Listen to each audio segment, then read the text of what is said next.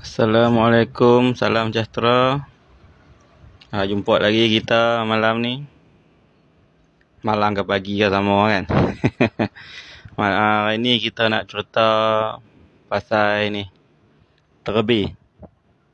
Terbi ke atau orang Kelantan panggil bidah. Atau orang KL panggil lipstick. Lipstick ke lipstick? Lipstick kan? saya tak mau cerita mana saya dapat. Yang legend macam ni, yang lama. Nak dapat dia pun misteri juga nak dapat dah. Tapi uh, saya tak mau cerita pasal nak dapat. Pasal saya dapat dia mana. Saya cerita saya biasa guna dia macam mana. Untuk nak cerita pasal dapat macam mana nanti saya cerita video yang akan datang lah. Ini saya cerita first sekali saya guna dah.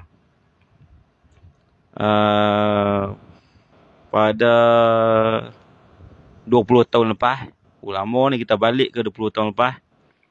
Saya dengan kawan saya dah ada dalam 5 orang.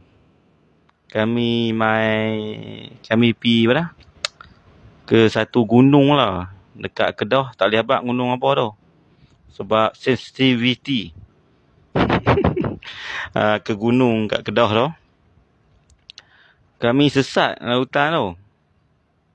Kami sesat uh, dalam dekat seminggu jugalah tak ada apa nak makan lah kat hutan tu. Sebab ada terbih ni lah. Kami makan burung-burung lah. Burung-burung yang lalu kami terbih, kami buat makan. Kepala dia kami simpan.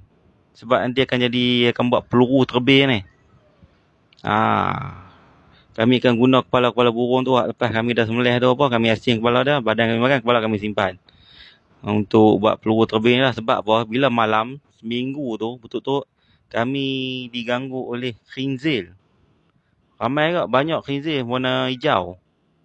Khinzir berwarna hijau mengganggu kami. Uh, bila kami guna kami guna kepala burung tu lah untuk terbih khinzir tu. Khinzir yang warna hijau tu. Uh, kami terbih. Uh, terbih ni dia punya ni uh, misteri dah.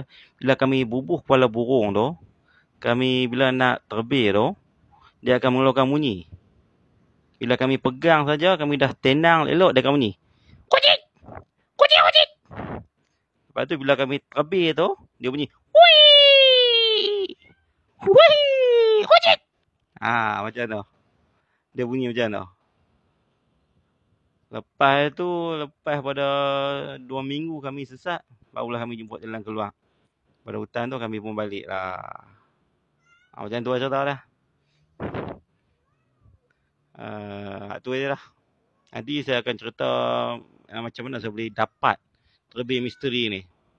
Kita bubuh je peluru ada, dia akan bunyi. Kucing! Kucing!